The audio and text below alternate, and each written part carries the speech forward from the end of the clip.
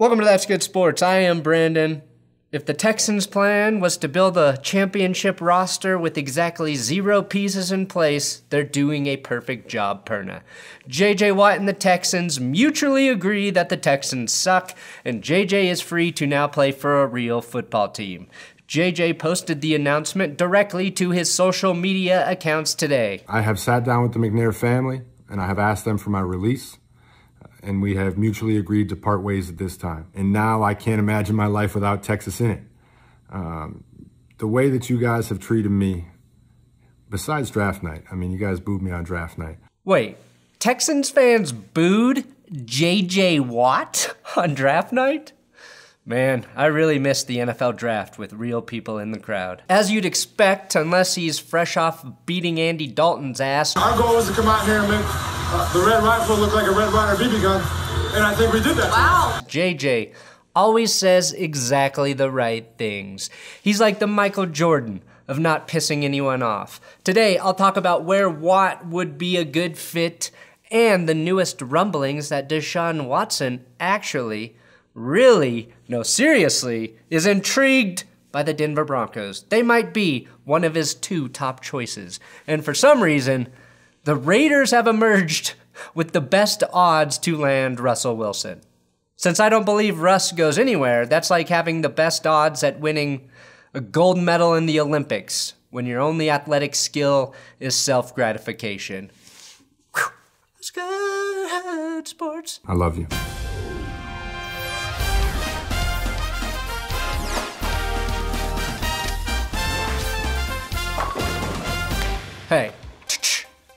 I promise to not use the phrase, Houston, we have a problem for this entire episode. If that doesn't convince you to subscribe, nothing will. I'm not gonna lie, I'm barely hanging on. Barely hanging on. I'm sick, baby's sick. The whole Perna household is a fucking shit show. If you bought some of my coffee, benchwarmerbrew.com, it might make you feel better. It'll actually make somebody you don't even know feel better because for every order placed at benchwarmerbrew.com com, through the Faya Foundation, we help feed somebody in need. So buying my coffee, you're supporting others. It's organic, ethically sourced, just really delicious medium roast beans. Medium roast. So if you want to check it out, please do. And the cheapest way to get it is with the subscription plan. So, Benchwarmer Brew. Stop it. It's important to note that out of all of the shitty things coming out of Houston lately, they did do JJ Watt a huge favor by releasing him 33 days ahead of the official start of free agency, which will end up increasing his market value. They didn't have to do that, and they could have tried to trade him for a low round draft pick, but this was the best thing for Watt as a player and a real human person. The big question now where will JJ go? The Steelers are the obvious choice so that all three Watt brothers can play together.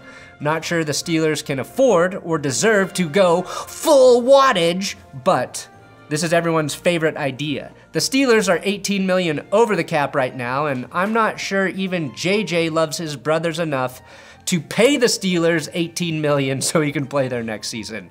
That's how the cap works. JJ was wearing a Wisconsin shirt in his announcement, which clearly means he'd be open to playing for the Chiefs or Bucks or 49ers. Any team with a matching red color scheme. Something the Watts value since their father is colorblind. Now the Texans have lost Watt, uh, DeAndre Hopkins, and Jadeveon Clowney and received zero first rounders in exchange. That is a worse exchange rate than the Vietnamese dong. And now you know Vietnam calls their money dongs. How many dongs will it take to sign Watt? If I don't have my hands on a hundred million dongs by the end of the day, no deal. The irony is that the Texans are actually pretty good at drafting in the first round. Watt, Watson, Hopkins, Clowney, all first rounders. Now, where JJ ends up probably depends on what kind of pay cut he's willing to take based on his logoless white hat, I'm not sure JJ is in a good financial situation. Much like when Tony Romo would only wear this logoless black hat. Look, there's name brand, then there's generic, And then they're so cheap, we ain't even slapping a logo on this thing. Which reminds me of my favorite cereal growing up Little Circles. Here's the thing with Watt he's past his prime and has seen the second half of his career mostly defined by his injuries. He started every game in his first five seasons, with two 20.5 sack seasons and three Defensive Player of the Year honors. He, Aaron Donald, and Lawrence Taylor are the only guys to win that honor three times, which makes the award not going to TJ this year really sting for JJ. The last five years, he's only started 48 out of 80 games, but did play all 16 in 2020. Watt has just nine sacks in the last two seasons combined. That said, white people fucking love JJ Watt, and he will bring their eyeballs wherever he goes. I'd be intrigued to see Watt in a Pittsburgh uniform, at defensive end with his brother playing outside linebacker. Just like the McCourty twins in New England, they can always switch jerseys at halftime and nobody would be the wiser. I look at Watt in the same way I look at Von Miller. And not just because they were both drafted the same season. Most fans will look at their sack numbers and think, oh, they're old and overpriced, aging commodities. But veteran guys like Watt and Miller do a lot of things that go unnoticed by the fans. Whether it's simply taking on a double team to free up someone else's path to the quarterback, acting as a key part of the run defense, or in Von's case, running a sustainable and organic chicken farm to better the environment. You get a lot of value with players like Watt and Miller, even if their sack totals are low.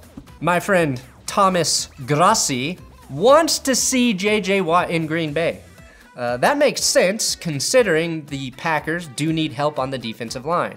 And I do think Watt, with one of the Smith brothers rushing off his hip, would be effective. The Packers did try and improve their front before the trade deadline this last season, attempting to acquire Dalvin Tomlinson from the Giants. Plus, I think JJ would be a great truck bed drinking partner for Aaron Rodgers. Both guys are pretty used to losing in the playoffs, so I think there's an instant bond there. Also, Tom might just be scared that JJ Watt ends up in Chicago with the Bears. JJ's wife, Kealia, is a standout on the Chicago Red Stars, which is a soccer team for NFL players' wives, I think. Living in the same city where your wife works is a big draw, and throwing Watt on that D line would make Chicago nasty up front. Watt, Hicks, Goldman, and Mack, the most powerful bank in all of the Midwest.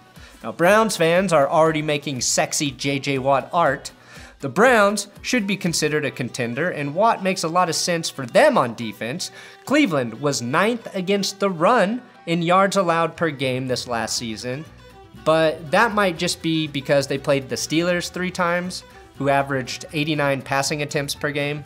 Watt's versatility and demand for attention on the line, I think, opens the door for Myles Garrett to have a 15 plus sack season. The Colts will remain a team uh, people discuss as a landing spot as long as they have all of that damn cap space they refuse to spend.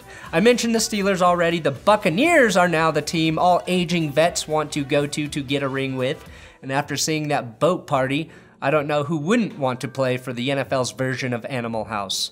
The Bucks do have a bunch of guys they need to re-sign, so it really depends on how that shakes out. Basically, JJ Watt can go wherever he wants because most teams will welcome him with open arms. Now, I posted a poll in the community tab asking if Watt's release hurts or helps Deshaun Watson's chances of getting out of Houston. Like many of you, I think it actually helps. Cal McNair, though, was asked about Watson today, and Adam Schefter posted this statement from Cal. There's a lot of misinformation out there. I'll leave it at that. Today, we want to focus on JJ. Deshaun is our quarterback. He is a Texan, and we expect him to remain a Texan, and we'll leave it at that. The only misinformation out there, Cal, is that you know what the fuck you're doing. I'm glad JJ Watt had decent things to say about you, though, Cal. That way, when the NFL takes you to court for custody of your team, you'll have at least one example of one player painting you in a positive light. Thank the McNair family for giving me, uh, drafting me and giving me my first opportunity in the NFL. Now, Deshaun Watson's top two choices right now might actually be Denver and San Francisco. I love you. Maybe the recruiting job by Kareem Jackson is working. If it is working, the Broncos better not cut Kareem Jackson, which has been mentioned as a possibility for the team to save on cap. But it's not just Kareem. Now Denver is making it to the networks. He's got a list. Uh, I didn't get all the teams, but I was told the Denver Broncos, San Francisco 49ers are two of them. Still don't believe me? How about this James Palmer tweet? Throwing some gaso fucking lean on that Deshaun Watson to Denver fire. Gaso fucking lean is what you put in luxury cars to make them purr. Squares just call it premium. Cool guys, gas oh fucking lean. Watson also liked to post about Jerry Jeudy being one of the best route runners in the league. I've been trying to stay practical about the Broncos' chances at landing Watson. I was of the opinion that they had a snowball's chance in Jack Easterby's hell of getting him, but I'm starting to let myself believe they might pull this off. And hope is a dangerous thing to have in sports. Not as dangerous as having an opinion on social justice issues, but dangerous nonetheless. Now, Deshaun Watson has to come to the AFC West for the Monday Night Football billing alone. Ladies and gentlemen, Monday Night Football, we've got the Broncos taking on the Chiefs at Arrowhead Stadium. Prime time brings us Watson and Mahomes as the two QBs try and solve the greatest mystery of all who will have the top seed in the AFC West. I'm not sure why any QB, though, would pick Denver over the Niners right now, except that there might be a chance to have an incredibly dominant group of ball catchers to throw to. Other than that, the 49ers are more appealing on almost all other levels. So I really do hope they get antsy and just trade for Kirk Cousins, opening that Broncos door wide open. And finally, the Raiders are somehow the betting favorites to land Russell Wilson in a trade. Well, Wilson staying in Seattle is by far the betting favorite, but after that, Vegas. Why? Everything Russ hates about his current team would be worse in Las Vegas. You mean to tell me he'd trade like the 13th worst pass blocking line for the 15th and inherit a defense that allowed the third most points per game in 2020 instead of the middle of the pack D the Hawks finished with? Russell Wilson wants to go to the Raiders?